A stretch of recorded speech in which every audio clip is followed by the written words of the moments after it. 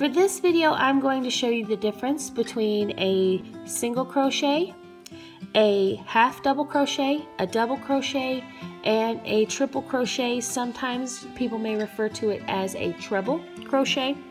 So for a single crochet, you insert your hook into the chain, pull up a loop, and pull through. That's a single.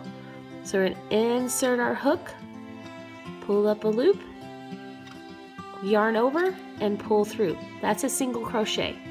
For your half double crochet, which is your next biggest stitch, you yarn over once, insert your hook into the next chain, pull up a loop, yarn over, pull through all three. That's your half double crochet. Again, you will yarn over, insert your hook, pull up a loop, yarn over, and pull through all three. That's your half double. For your double, you're going to yarn over once, insert your hook, yarn over, pull through, yarn over, pull through two, yarn over, pull through two.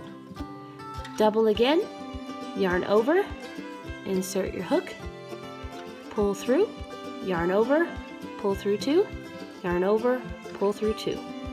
Now for your triple, you're gonna yarn over twice, insert your hook, pull up a loop, yarn over, pull through, yarn over, pull through, yarn over, and pull through. Again, and yarn over twice, insert your hook, yarn over, pull through, yarn over, pull through two, yarn over, pull through two, yarn over, pull through two. And there you go. You have your singles, your half doubles, your doubles, and your triples.